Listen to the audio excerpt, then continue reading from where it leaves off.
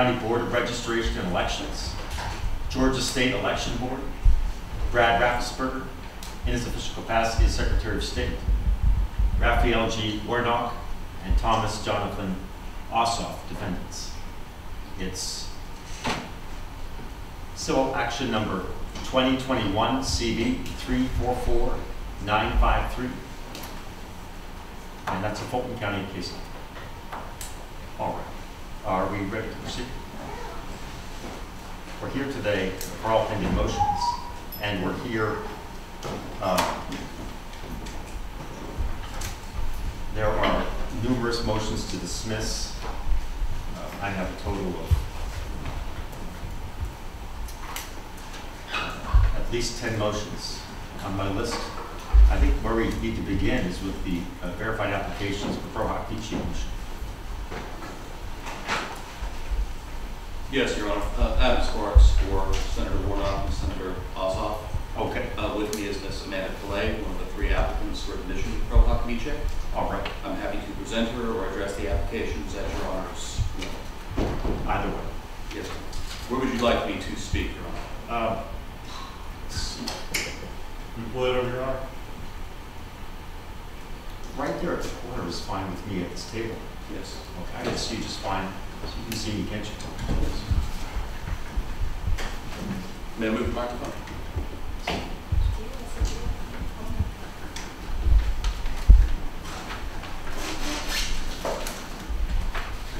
Good afternoon, Your Honor. May it please the court. As I said, Adam Sparks for Senator Warnock and Senator Ossoff. Uh, I'm authorized to state uh, Senator Ossoff wishes for the applicants to represent him as well. The original applications were served on behalf of Senator Warnock as he was the, um, the only one of the two senators who had appeared at that time. So with me today is uh, Ms. Amanda Callais of Perkins Coie LLP. She flew in to be here today. The Senate defendants would prefer for Ms. Callais to deliver argument on the pending motions. Um, If she is admitted in response to any other motion, that it advances their, their interest to speak on. Um, So all the applications been filed with the court, Ms. Callais, Mr. Geis, and Mr. Newcourt, Newkirk. They were sent along with the requisite payment to the bar. The bar provided the letters stating the applications complied with Rule 4.4 and Appendix A. The bar sent those letters to the court, so we sent the letters upon counsel. Uh, We then thereafter received petitioners' objections to the three applications for admission. Um, I should note that all three attorneys have been admitted pro hac vice in several proceedings in Georgia, both state and federal court, over the past two years. All were included on their applications. In good standing in their jurisdictions, uh, where they are barred, none of them subject to bar proceedings, court discipline, anything of the like. They all have specialties and extensive experience in election law, which this case is a part, uh, none more so than Ms. Callais, with whom I've worked for several years, and I can assure you she is of the highest caliber and the highest character, and is more than fit to practice uh, pro hac in this court. They're familiar with our client's needs, desires, arguments, filings, and most importantly, our client's desire that represent them and speak for them here today. And ordinarily, that would be the end of the matter. Uh, Given petitioner's objections, uh, I'll I'll address them briefly, although they are addressed comprehensively in the brief. Yes, sir. Uh, I think we should give them an opportunity to object in the way that they see fit once you're through with the sort of the- the basics of your application. Yes, Your Honor, that's fine. Uh, I'm through the basics of the application. I'm happy to address anything else after it's spoken. All right, thank you. Thank you. Mr. Hardaway. Yes, sir, we filed a uh, consolidated response to all three of the uh, applications, and then we filed a uh, response uh, to their reply. Uh, As far as the grounds, we think there's a few. Of course, the court knows this is discretionary upon the court under Uniform Rule uh, 4.4.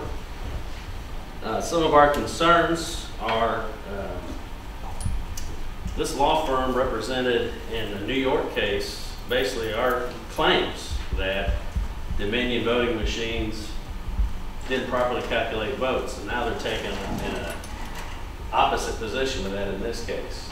Uh, So we think it creates a uh, positional conflict in that regard, and may make some of their uh, attorneys witnesses in this case, if they have evidence that uh, would show that. Uh, Additionally, there's been some letters which we've attached, all these are attached as exhibits to our uh, responses, where they've sent letters trying to, uh, we would say hamper or threaten, slow down the Arizona uh, ballot inspection or audit, whatever you'd like to call it. Uh, Also, the law firm itself was sanctioned by the Fifth U.S. Court of Appeals uh, for some Texas cases that were going on as part of election litigation. Uh, It's my understanding that the Fifth Circuit has now released some of the lower associates from those sanctions, but have upheld them against the, the upper tier attorneys and, and partners. Um, With regard to that discretion, we also contend that they're abusing the pro hac vice privilege, Your Honor. It's a privilege, and the court gets to decide that. I think Ms. Callais herself, this would be her 16th appearance in a Georgia court, uh, pro hac vice. Seems a bit excessive. I think some of the other uh, applicants had two or three uh, prior pro hac admissions. Uh, Those are our primary concerns, Your Honor, and we've outlined it in our response and our reply, but I'm sure you've seen that, we've attached the documentation. That's just kind of the key points that we're looking at um, at this point, and we would ask you to deny that, and we think Mr. Sparks is more than capable of uh, representing these clients uh, without attorneys outside of our jurisdiction, All right, thank you. Thank you. Yes, Your Honor, a couple of points, if I may. Um, While I'm appreciative of counsel's confidence in me, uh, I owe a a larger duty to my clients who have their own wishes that they wish to speak here and represent themselves today, that duty takes precedence. Um, In terms of the rule, counsel's correct, this is a discretionary decision within Your Honor's discretion, Rule 4.4. Um, You're allowed to admit attorneys to appear in a particular proceeding. Ordinarily, they should be granted per 4.4, Section D, subsection 3. Uh, To address the, the abuse of privilege point for a moment, uh, I would contend that's, that's wrong for a number of reasons, the most important of which may be that all of the cases in which Ms. Callais has applied to appear pro hac vice, and she's been admitted or the case has ended and been mooted before the bar had a chance to provide the requisite letter. Uh, all of them have to do with election law.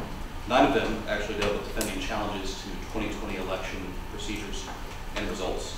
Many of those are based in the settlement agreement of a case that Ms. Callais litigated, settled, and eventually filed a settlement agreement between November 2019 and March 2020. There are very few people on the planet that would have been more familiar with and more capable of litigating cases involving that settlement agreement than Ms. Callais. Uh, all these cases were, were defensive in nature, if I recall correctly, and none of the cases remained pending.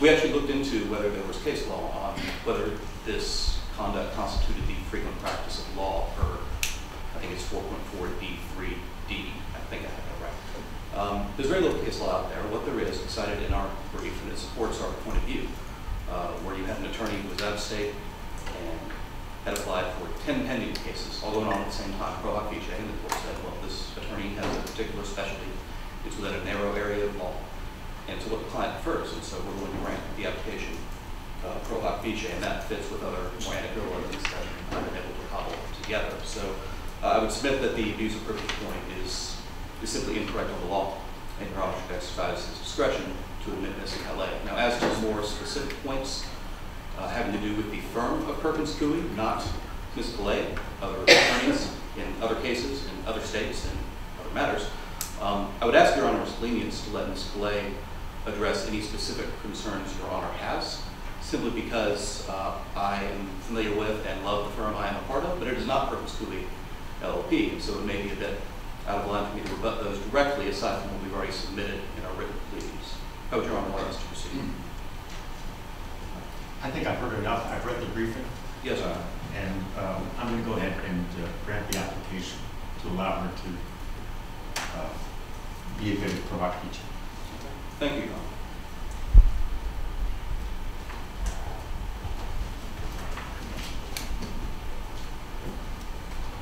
Let's move now to the substance of the motions. Uh, It seems to me that it makes sense to start with uh, Senator uh, Warnock's motion to dismiss. Uh, Does anyone have an objection to us beginning there? No, Your Honor. No, Your Honor. No, Your Honor. Oh, Thank you, Your Honor. Just one, one moment to set up. great stuff.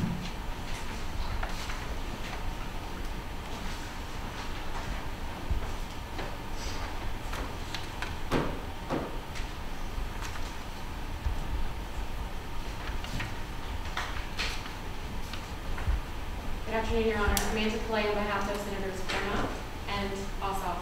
Um, Senator Ossoff filed a motion to dismiss last week that joined with Senator Warnock's motion. um, and Was made- that filed? It was filed Friday afternoon. Yes. Has it been filed stamped? Your Honor, I can address that, Mr. Sparks. Uh, We filed it on Friday evening, just after 6 PM. We've been seeking a file stamp copy and have been on the phone with Fulton Clerk all day. They've not provided us with one yet, which is why I circulated the courtesy copies Friday evening. All right. And you've seen them? Yes, sir. Okay, so through no fault of theirs, this has not been filed stamped?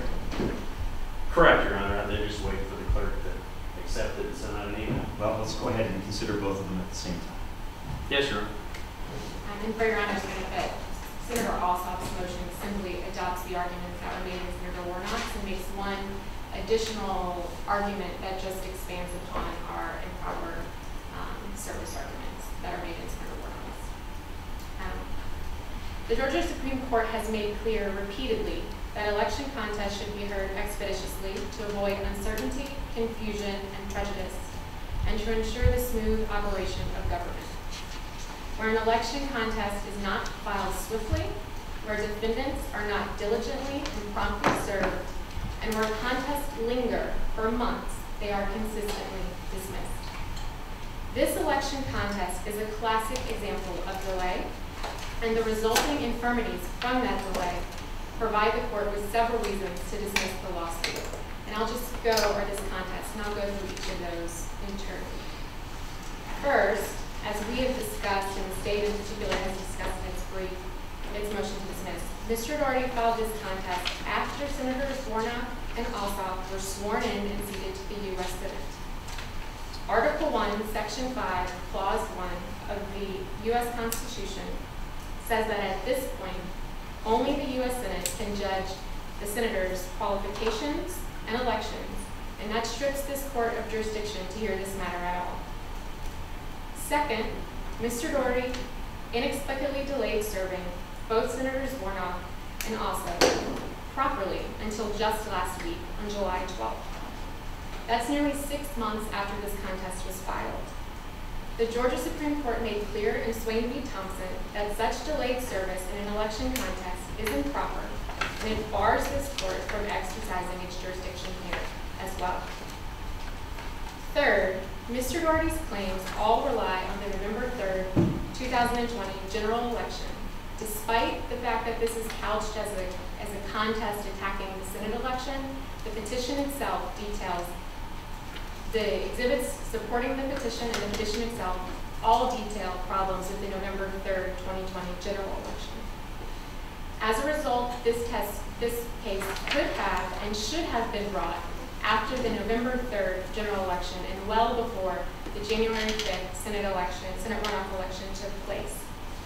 The result is that this case is also barred by the equitable doctrine of laches.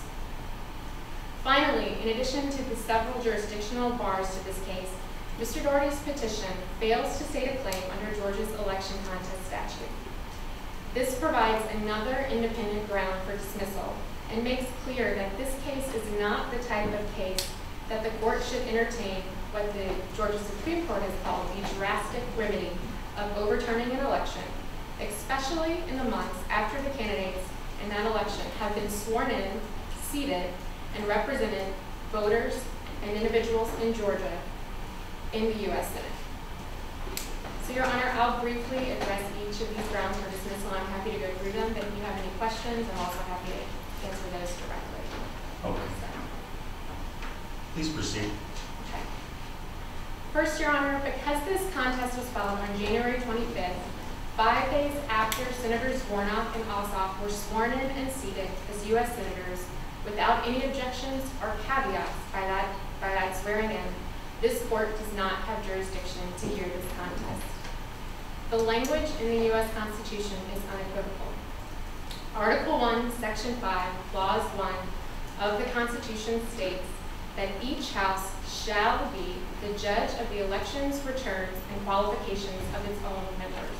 Is it your position that the lack of reservation language at the time that they were sworn in is uh, important? Certainly, Your Honor, if there had been reservation language, for example, the court in Roudebush v. Hartke talks about the fact that in that contest, there was a reservation language that specifically, um, the Senate swore, that specifically, um, the members in that case were sworn in based upon the results of the contest. That's- 1970 case of Indiana, Yes, correct? so that's, it. yes, yes, Your Honor. So that's particular language, and it, it in and of itself conditions the swearing in upon the results of a separate contest or separate state recount, actually. Is there language such as that that exists in this case with respect to either of our two United States senators? No, Your Honor, they were sworn in without any conditions at all. And what we know is that based on, based upon the language in Roudebush v. Hartke, also Reed v. County Commissioners of Delaware County, what we know is that when senators are sworn in, it then becomes the exclusive jurisdiction of the U.S. Senate to judge the elections and qualifications of their members. So at that point, once, once Senator Warnock and one Senator Ossoff were sworn in, there was nothing that this court or any court in Georgia or even a federal court could do. This now lies within the jurisdiction of the U.S. Senate. So this acts as a jurisdictional bar. The only argument that Mr. Daugherty has made in response is simply that under Georgia law, they have five days to file an election contest. And while that may be true, in this case, they needed to act sooner. And the reason they needed to act sooner is because once, once they were, the senators were sworn in, this court has no jurisdiction. And the U.S. Constitution is the supreme law of the land, as the, as the Georgia Supreme Court has affirmed. And so at this point, that's what controls this case. In the uh, 1970 case out of, believe it's Indiana, it's the Hartke case. Yes, Your Honor. Uh, What did they say about the recount and and whether or not the state could proceed with the recount? I believe that was a very small margin of victory. Yes, Your Honor, it was very, it was a very small margin of, of victory in that case. And in that case, the question was different, because there was not a question of mootness that was present, because the, because the Senate itself, while it had provisionally sat the, while it had provisionally sat the member, there was still a caveat based upon the fact that there was a pending recount to take place. So the recount did not move the action. But here, we're just not dealing with that situation. We're dealing with the situation in which mootness has occurred because the senators have been seated, they have been sworn in, and this court can't issue any relief. The, the relief that's asked for in this contest is that the election be reheld, that the results be overturned, that the, that the, um, that the results be reexamined. But that's not something that this court can issue because the U.S. Senate is the only body that has jurisdiction to judge the qualifications at this point. If there was another election, and that matter was then sent to the Senate for their consideration, uh, then would they have the authority then to review those new results and- and make a different determination? Well, frankly, Your Honor, at this point, this court doesn't have jurisdiction to, to order another election for this, for the senators. The election of Senators Warnock and Ossoff can only be judged by the U.S. Senate. They, they have the exclusive purview at this point to determine the results of those elections and their qualifications. So if the court were, I would argue this court couldn't order another election in this, in this, for these particular Senate seats because it's not within this court's jurisdiction. So the state's deprived of the opportunity at this point to have another election because the Senate now controls their membership. At this point, the state cannot hold another election for Senators Warnock and Ossoff. We, we, you can't re-hold the January fifth, two thousand and twenty-one Senate runoff because that election has already occurred, it's been certified, and the senators have been sworn in. So now, if there are questions about their qualifications, questions about their, ele- their election, the US Senate has the jurisdiction to hold that. Now, had the co- So it cuts off any kind of election contest that's filed from the date that they're sworn in going forward. Is that what you're saying? Yes, Your Honor, from the date that they were sworn in and the Senate sat them, the Senate obtained exclusive jurisdiction over determining their election and qualifications. And the state no longer has any right to impact that. Not based on, not, not based on the relief that's requested here, Your Honor. This request to sort of undo the election and rehold an election. The state can't do that at this point. Okay.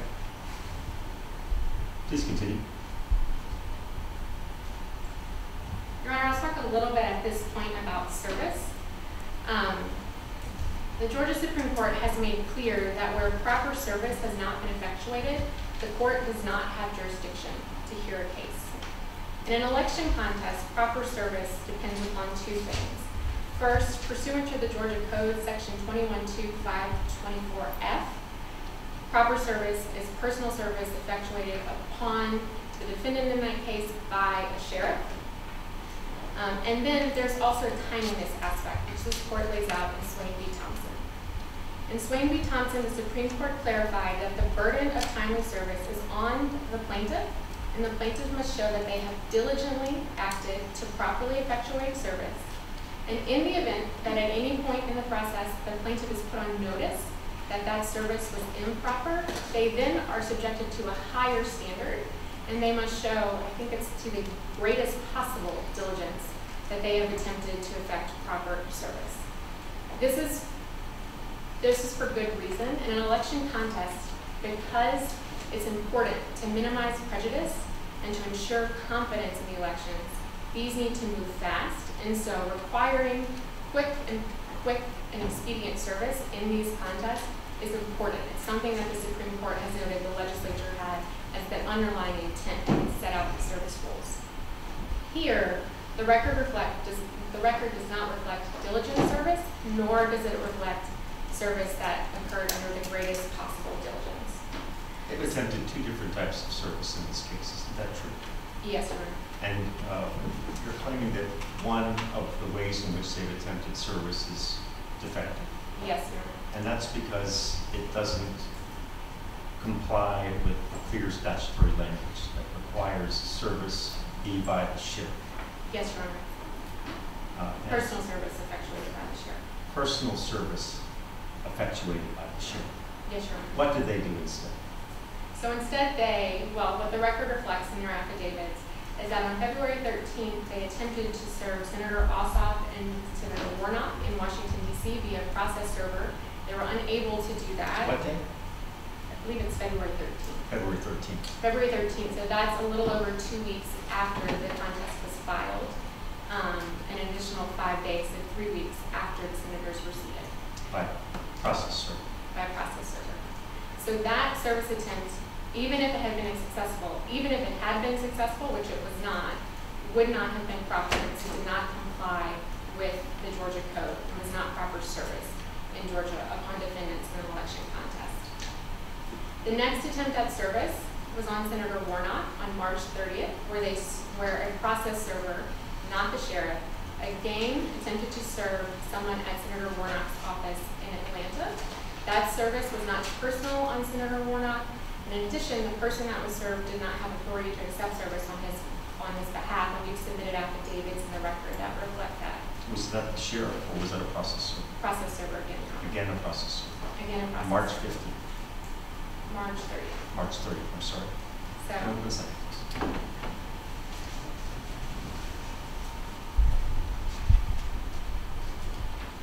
And I'll also double check so my dates whenever I sit down. This is served ordinary process on aid to Senator Warnock on March the fifteenth at Senator's office. This is page ten.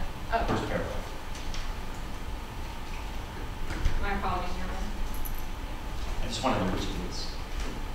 Is it the fifth, thirtieth, or is it the fifteenth? My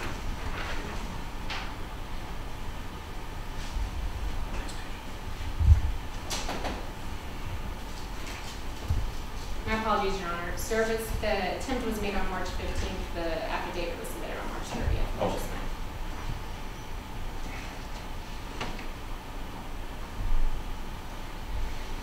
I see, thank you. Um, So the first attempt by the process server on both Senators Ossoff and Warnock was February thirteenth, several weeks after they were seated. The second attempt on Senator Warnock was on March fifteenth. That attempt at service was successful and that, and that someone from Senator Warnock's office did receive the, did receive notice of the lawsuit. Um, and Senator Warnock was not proper, but it was, it, but it, but it did occur. And because of that, Senator Warnock entered an appearance in this conditionally just to protect his position and argued that service was insufficient. That argument was made both in his answer to the petition and also in a motion to dismiss. So as of April 9th, Mr. Daugherty was on notice that the service that was effectuated upon Senator Warnock on March 15th and also the attempts that were made on February 13th did not comply with Georgia's contest statute. What's the heightened standard? So the heightened standard in Swain says that once someone is on notice, which would have occurred in this case on, on April 9th, the plaintiff must be able to show that they've acted with the greatest possible diligence to effectuate service. And that's, that's the language of the case. Yes, Your Honor. The greatest possible diligence. the greatest possible diligence. Um, The next attempt at service was made on July 12th, just a week ago. That's nearly three months after Senator Warnock's motion to dismiss was filed, which put plaintiff on notice that there was, that, that they were under a heightened standard and that service was improper. Um, and no attempts, there's nothing in the record that indicates that any other attempts were made on Senator Warnock or Senator Ossoff. So we have a three-month delay from April 9th until July 12th. Nothing in the six months that it took to effectuate service under the statutory requirements, and certainly in the three months that it took to effectuate service after plaintiff was put on notice that service was improper, indicates at a, the minimal standard of diligence, but certainly not the greatest possible diligence that's required in an election contest. These contests have to move fast, and there is good reason that a contestant should not be able to wait six months to serve a senator pursuant to the statute and the rules that the legislature has set out. Because of that, under Swain v. Thompson, service is still improper, it has not been timely, and this court again does not have jurisdiction to hear this contest, and it must be dismissed.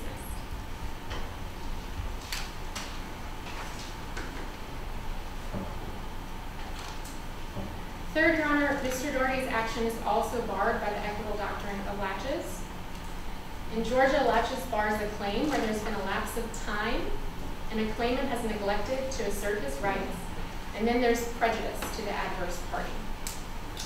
In this case, as I mentioned at the beginning, while this, while this is styled as a contest to the January 5th, 2021 Senate election, all of the allegations in the petition and the supporting exhibits focus on the November 3rd general election and some incidents that occurred afterwards during the during the context of the statewide audit or the recount. All of those were known well before January 5th, and in fact, there were several lawsuits that were brought, both contests and lawsuits in federal court, that were based upon these same allegations right after the November 3rd election, in December leading up to the Senate election. Um, There's just no reason that in this case, this contest needed to wait to be filed until January 25th, which is significantly after the election occurred, and many, many, many weeks um, after the actual allegations that the petition is based upon. There's a continuation theory.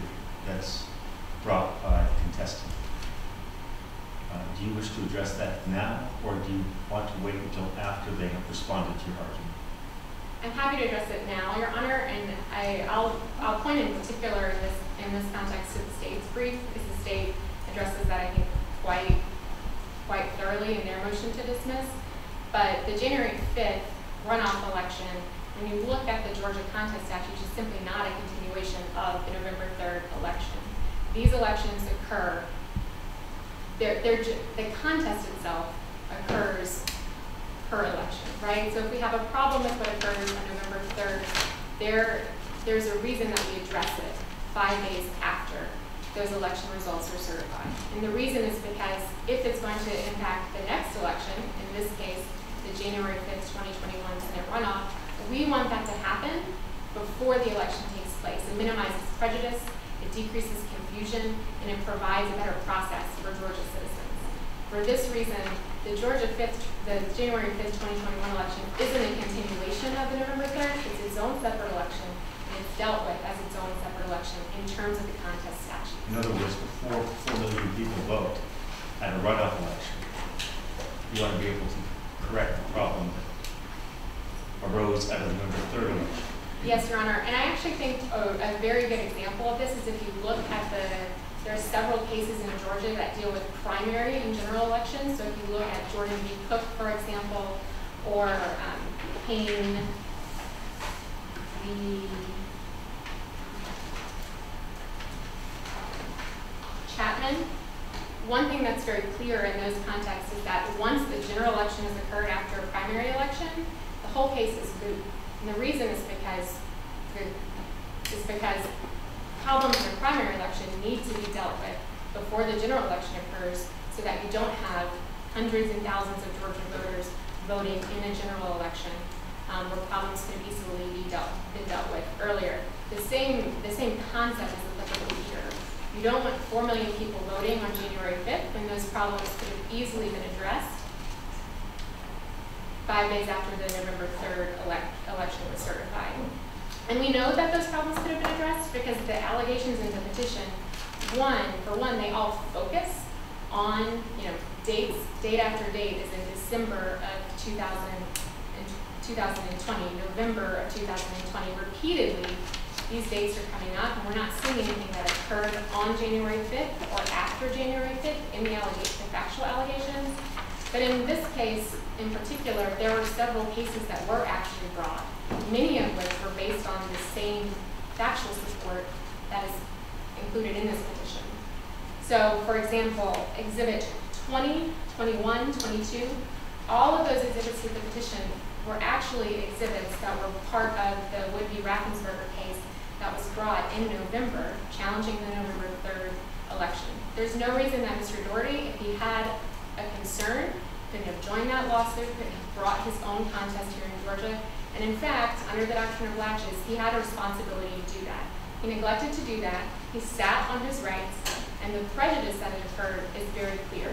An election took place. Over 4 million individuals in Georgia voted. Two senators were sat, and they have been seated in the U.S. Senator, in the U.S. Senate, sworn in and representing Georgians for over six months now. To hold a new election, to call all of that into question is extremely prejudicial, and it's precisely why the election contest statute makes it clear that you have to move quickly, and that Mr. Daugherty should have moved quickly to address these problems before the January 5th runoff occurred. Finally, Your Honor, in addition to the, the many jurisdictional problems with this lawsuit, Mr. Daugherty's complaint also fails to state a claim upon relief, upon which relief can be granted. Georgia Supreme Court requires that even at the pleading stage of an election contest, the plaintiff must plead enough facts in the contest to support an inference that fraud, misconduct, or irregularities occurred such that they would impact the actual outcome of the election. Here, all the allegations of fraud, misconduct, irregularities, they relate to a different election. They do not relate to the January 5th Senate runoff. They relate to the November 3rd, 2020 general election. In fact, there are no facts supporting irregularities sufficient to impact the outcome of the January 5th Senate runoff in the record. I believe there's actually only one exhibit that deals with the Senate runoff itself, and it talks about an isolated delay in voting Columbia County. in Columbia County. The, the exhibit itself is entitled, it makes it clear that this was, that it actually, the delay didn't impact elect, the election itself, no one stopped voting, voting continued.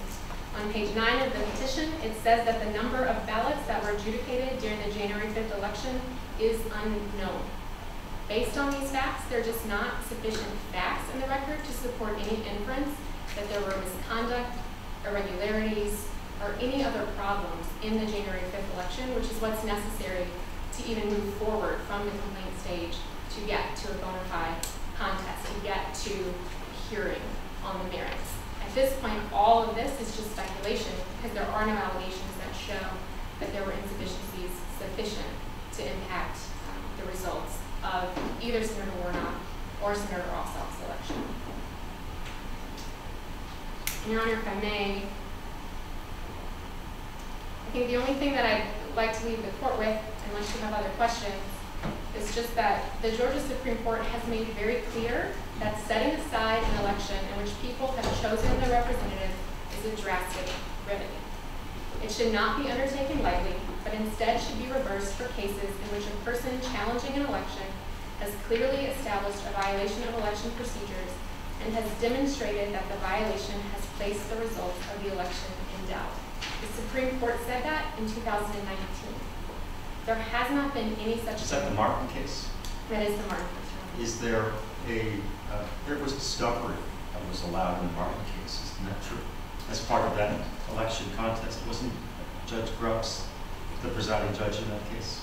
There was discovery allowed in that, in that contest, Your Honor. But the facts of that contest were sufficient, were, were extremely different. And the jurisdictional problems that, that exist here did not exist for all of the defendants who were, who were in the election contest, in that particular election contest. So you're dealing with really apples and oranges of an election contest.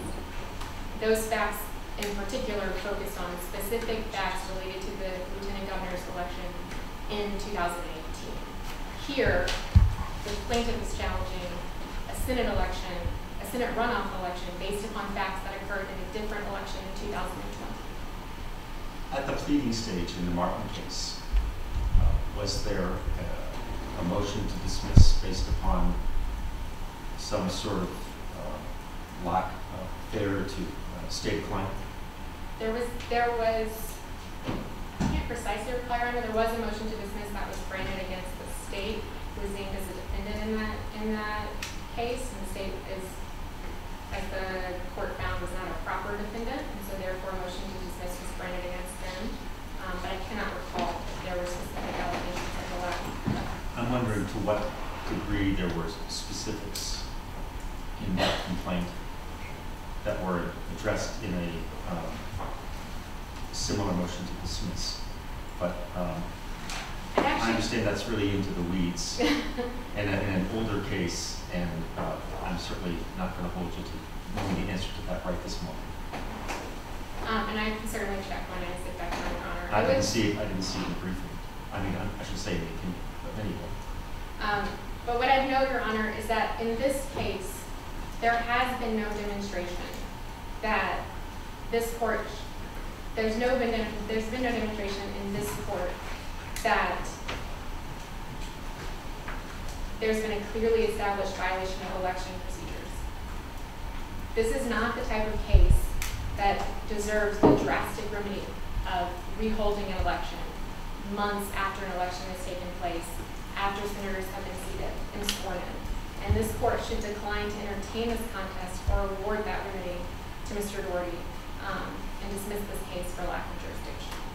One more related question is if the court lacks the jurisdiction uh, to entertain this contest, or uh, if for some other reason um, the court concludes, for instance, laches, uh, that Senator Warnock and Senator Ossoff should be dismissed, what does that do to the remaining claims? You mean the cla- the claims? As to all of the other defendants? I should say, all of the other parties in the action. Is there any consequence to that? Are the, are the remaining motions mooted? Well, Your Honor, if the court lacks jurisdiction to issue, particularly, particularly on the first grounds, the first jurisdictional grounds, the fact that this is, this is really something that can only be heard by the U.S. Senate, the court lacks jurisdiction on those grounds, it simply cannot hear this case, and that would apply to all of the defendants. Um, laches would, would be the same bar, right? They failed to state a claim, that is, that applies to all of the defendants in this case. So when we're talking about these jurisdictional grounds or these very fundamental points of the, the the petition itself, that applies across the case. I'll make it just even more simple.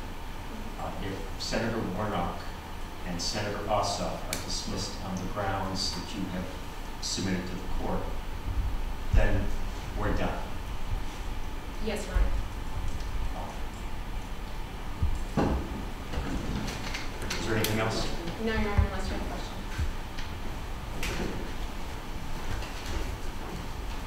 Well, the article of the Constitution is Article One, but it's Section Four, it's time, place, and manner.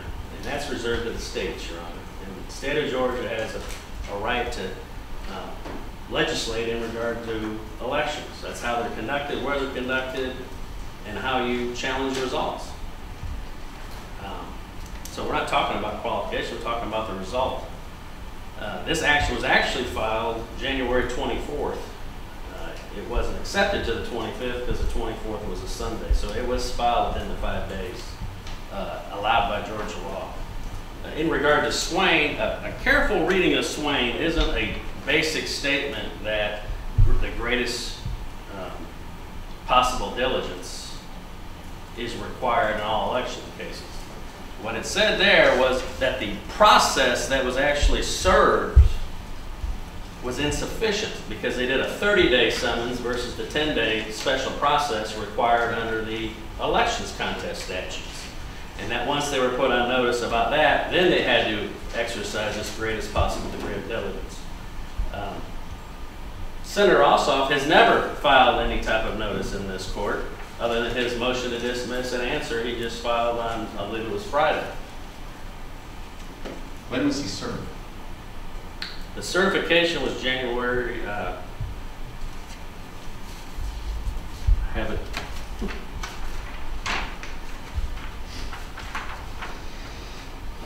January 19th was when it was certified. By the sheriff? Oh, you're talking about service? I believe that was filed the That's following the- Monday. The Swain versus Thompson case is a service case, correct? Correct. That's what we're talking about right now, service. Yes, but Ossoff was, Senator Ossoff was just served like last week, and he filed his answer and motion to dismiss Friday, a few, few days after he was served. So there was no prior notice to, to accelerate to this greatest degree of uh, due diligence that is mentioned in Swain, because Senator Ossoff had never filed anything to put us on notice. One second, please.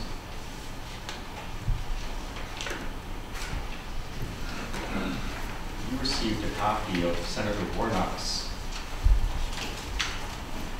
motion to dismiss somewhere on or about April the 9th, 2021, correct? Correct. All right, and in there, did they not indicate to you that there was a failure to properly serve Senator Warnock? They did. I'm talking about Senator Ossoff. Are you counsel of record in, in both cases? I'm counsel of record for the petitioner. Honor. Right.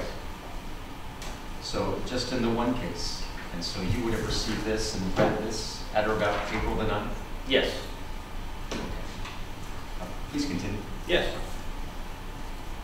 Uh, With regard to the 12B6 argument, Your Honor, um, this is a continuation under Georgia law.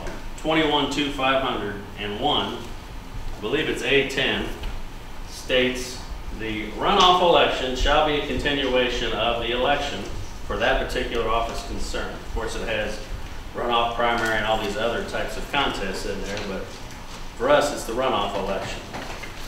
And that's 212501A10.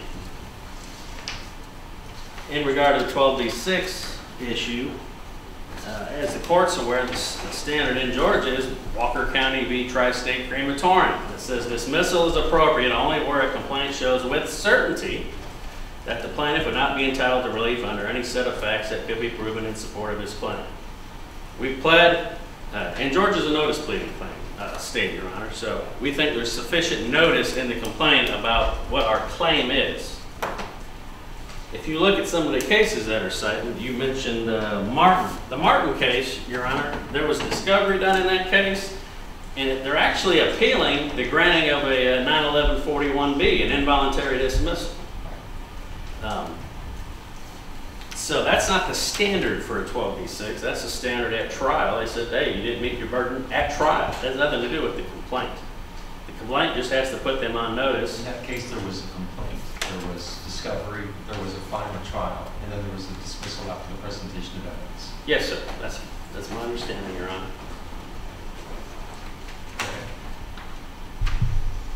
And also, Georgia law clearly says at 212524C, when an error in counting of votes is alleged as a ground of contest, it is sufficient for the contestant to state generally that he or she believes that error was committed in the counting of votes cast. And it shall not be necessary for the contestant to offer evidence to substantiate such allegation. If it's pled, it's pled. You don't, you don't need all this evidence. Like, That's always the argument. Oh, there's no evidence of it. Well, we haven't even been through discovery yet, Your Honor. That's the purpose of discovery, is to flush out these things. The purpose of a 12B6 is to get rid of a uh, complaint that doesn't state a claim, that, that no relief could be granted. There's no provable set of facts. Well, there is a provable set of facts. They want to talk about the November election.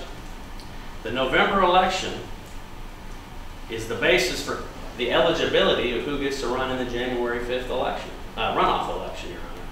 So if you're not eligible based upon the November uh, election result, and it's a continuation, that eligibility is a question up until five days after certification. Why didn't you challenge that after November 3rd election? Um, Well, I wouldn't ask, that- I wouldn't retain at that point, Your Honor. So, Isn't that the time to say that somebody's not qualified to proceed further? Well, I think you could bring it in, but I don't think Georgia law requires it. I think Georgia law says eligibility for the runoff election can be challenged up till five days after certification. Okay. That's my understanding of the law, Your Honor.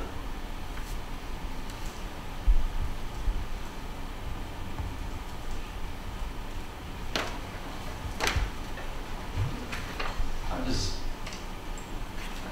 please continue, I don't want to interrupt you. I'm just making sure I covered it. Sure. I did, I'd like, want to be sure that I've heard everything that you have to say about the laches argument. Well, I don't think it's a laches argument, Your Honor. That's the relinquishment of a known right. He didn't relinquish any right. He filed it within the statutory time period. Uh, Tried to serve them at their house. We couldn't serve them there. We tried to serve them in DC. We couldn't serve them there. Uh, Finally, the sheriff was actually able to get Senator Ossoff, like I said, last week, um, last Monday, I believe it was. Uh, So I don't think he's relinquished a known right. I think he's proceeded by filing timely, and he's tried to effectuate service. Uh, I'll be honest with you, I still have service pending in the sheriff's office for Senator Warnock, which apparently they said they tried to serve him July 12th, but I I haven't seen a return of service or a non-est on it. So I don't think we've uh, relinquished a known right or committed. Here. And Senator, Senator Ossoff uh, accepted service through his attorney Yes, sir. uh, last week. That's correct, Your Honor. Okay. Okay. Uh, Closing on your motion.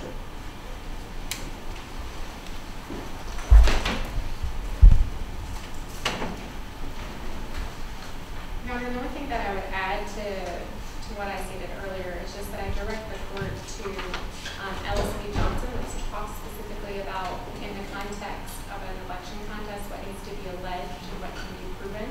Um, it makes clear that when we're talking about the facts, um, the facts that are alleged in an election contest, while certainly the ultimate conclusion of misconduct or irregularity need not be alleged more than generally, the facts themselves that lead to that inference, typical of any sort of notice pleading in a state, those facts do need to be alleged.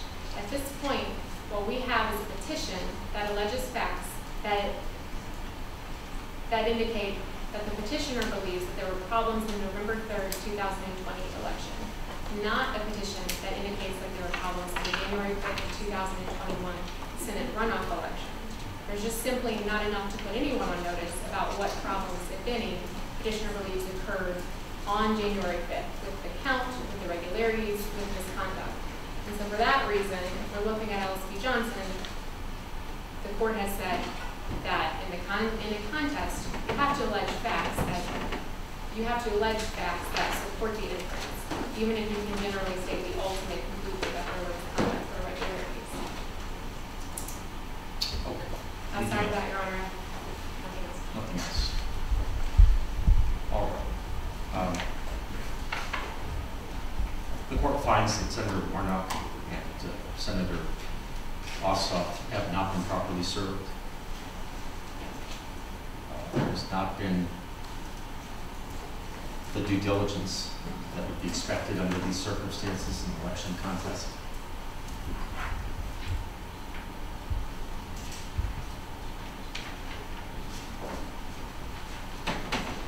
Further, the court finds that uh, this matter is barred by the equitable doctrine of laches. This action has not been diligently pursued, and particularly in the area of service of process. Case is dismissed, and I've asked Ms. Callais to please prepare the proposed order. Thank you. We're adjourned.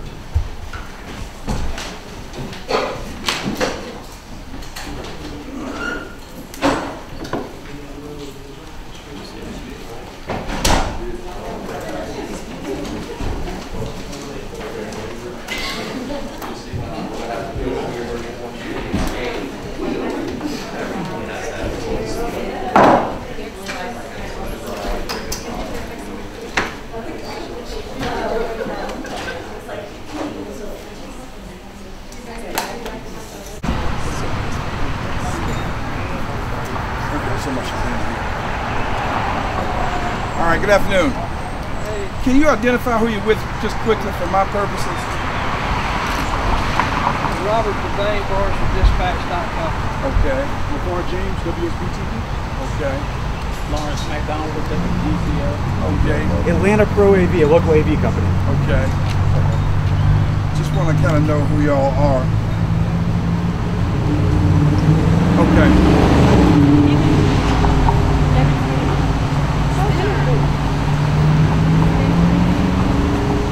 We're here today because Georgians, including myself, have been saying all along that there are election integrity issues in the 2020 election.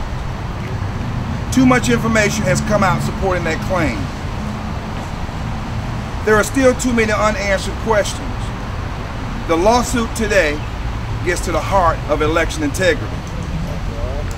Brian Kemp and Brad Raffensperger had over 258 days to call for forensic audit. Today, I want to get to the heart of the problem with our election and the solution. We need an independent forensic audit of the people, by the people, and for the people. This audit, this forensic audit that I'm calling on the governor to call is not to direct it to the GBI. The GBI is not equipped, or do they have the experience, or do they have the expertise in conducting an election audit. And this audit should be paid for by the taxpayer. Why? Because we want to make sure there's no question or any motives, political motives, on who may be paying for the audit.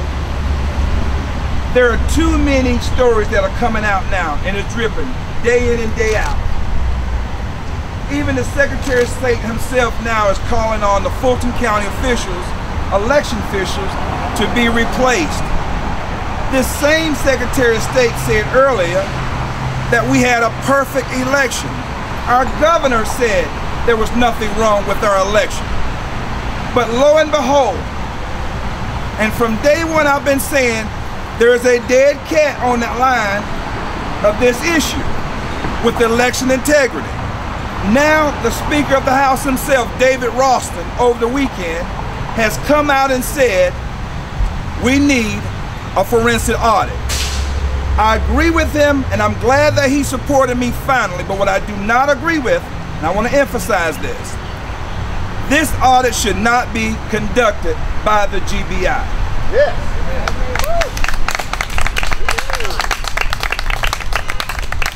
audit need to be conducted by an organization like Cyber Ninja who have the experience, the technical background, and the expertise to do a thorough job.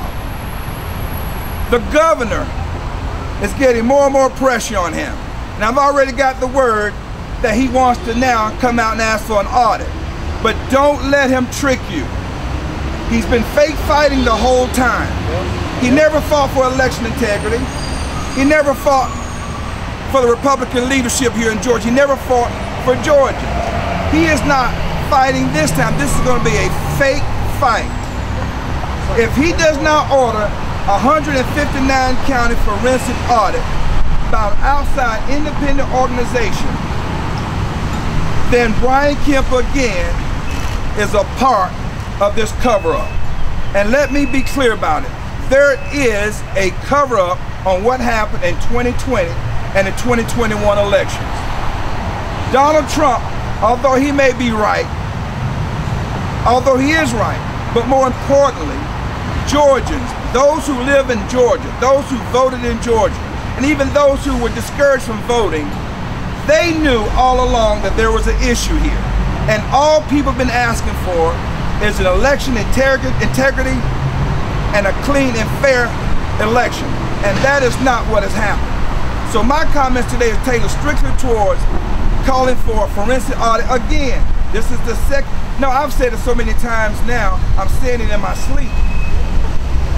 Georgia needs a full and thorough forensic audit by an outside organization, independent organization. And if the governor does it any other way, he is a part of the problem. I'm glad to see Robb Pitts, who is a Fulton County Chairman Democrat, ask for a forensic audit. It has become a bipartisan issue. Nobody can disagree with that now. And all of those in the liberal media, including the Atlanta Journal and Constitution, who's been part of the cover-up, who did not want us to get to the bottom of it, I want to thank the people, because it's been the people who's been involved and raising their voices and their concerns, and that's why you see more and more information coming out about the fraud that took place in Georgia's election. And so you're going to hear later from another speaker dealing with the case today, but I'm going to take questions strictly on the forensic audit, why we need an audit, who needs to do the audit, and who's been covering it up. So if anyone has a question along those lines, I'll take those questions. Other than that, I'll hand it to the next speaker because they'll be speaking on a whole new different issue, although somewhat related. But today, it's about a forensic audit. It's time. Does anyone have a question? So I hope I'm clear then. And I'll repeat it one more time because I'm saying it so much anyhow. I am calling on Governor Brian Kemp to finally do the right thing. Call for a 159 county forensic audit, not by the GBI, because they're not equipped or have the experience to do it. But do it by an independent organization similar to Cyber Ninja and others who can come in and do it fair and let it be paid for by taxpayers' dollars. Any other way, it will have political stench to it. Let's keep it clear, let's keep it transparent, and let people understand, let them know what really happened. And I'm calling on the media too. I'm calling you all that are here today. six months ago, everybody was saying there is nothing. It was a perfect election. If the very man who said there was a perfect election is now calling for the heads of those of Fulton County, how could it have been a perfect election? What it was, until the citizens of Georgia got involved, it was a perfect cover up. But no more. The roaches now are running for the cracks now that the light has been turned on them. There has been too many election irregularities. This is not Venezuela. This is not Cuba. This is not Afghanistan or Iraq. This is the United States of America. And our Constitution provides for a free and fair and transparent election. And Governor Kemp, we are ashamed of you that you have used this for political purposes. You're the reason that Dominion is here right now. And you're the reason, and you're the one who's been blocking this forensic audit. And I want to look right in the camera, in his eyes. What are you covering up, Governor? And who are you covering up with? What is going on? We're going to get to the bottom of this. Nobody has any questions. I'm going to move on, and I'll let the next speaker. Sir? After what Stacey Abrams has been accused of doing, why is she not incarcerated or indicted? I'll say this. I think everybody knows, and I want the media to look at this too. There were two things that were used in our elections in 20 and 20, 2020 and 2021. Now look, this is this is simple, it's easy for you to find. One, signature ENET verifications for absentee ballots. Where did that come from? The Stacey Abrams backdoor deal. That was that settlement was from the executive branch. Where did the dropout boxes come from? Facebook. The governor gave to the state election board the ability to come up with dropout boxes. But where did that idea come from? Stacey Abrams. But none of that was written into the law in 2020. Look at your election laws. Only the election, the legislature can change election laws. How did we end up having a, a an election with drop-off boxes? And how did we have an election with that with that bell ringing? How can I say what I want to say? Let me wait, Freedom I'm, bell. I'm about to- I'm about to hit my point. Let freedom ring, y'all. Let freedom ring. That's what it's about. Let freedom ring. Let freedom ring. Oh, And I'm serious. This is a message to the reporters. The Constitution makes it clear that only the legislature can change election law. How did we have an election with drop-off boxes and ENET verification for absentee ballots? How did we do that without it written in the law?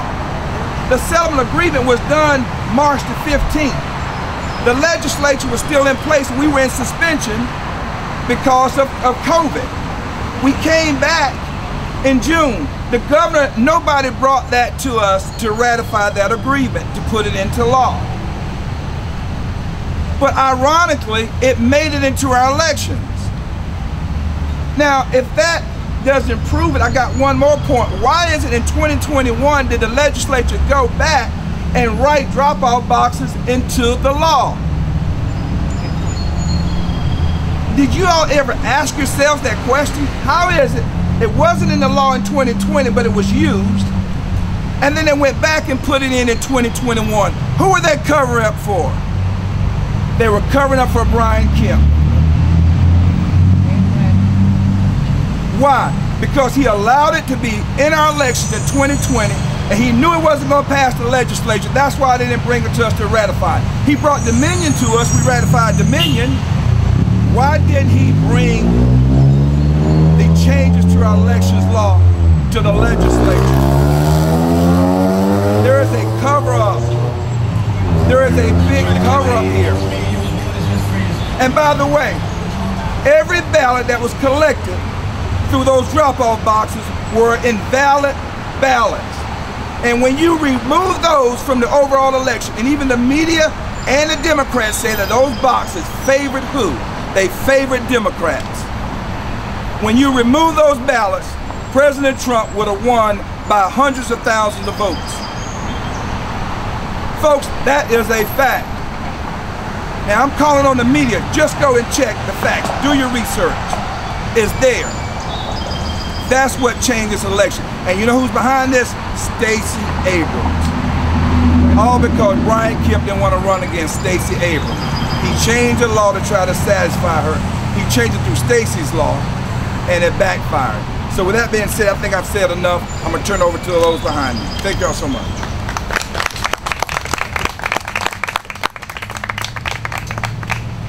Uh, good afternoon. Is this thing is this even on? Does it need to be on? I don't think. Does it need to be on? Oh, it's on. Okay, good. Because I don't need to. I, I won't yell. I'm Mike Daugherty. I'm the plaintiff. Uh, I appreciate y'all being here to say uh, I'm disappointed and shocked that the judge ruled from the bench is an understatement out about something that is so incredibly important to all Americans and Georgians.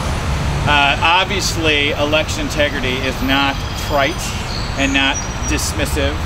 And to have Perkins Coie parachute in from out of state, steamrolled by Democrats that create things like the, the, the, the Clinton dossier, that have come in this state 16 times and they're permitted to come in and, and, and, and sort of, I don't know, web their weave of the web, no, I don't know, weave their web. what, but what, and then put it out in a technicality which I, I find it hard to believe really is within Georgia law. Uh, I don't think the U.S. Constitution is a tool for fraud.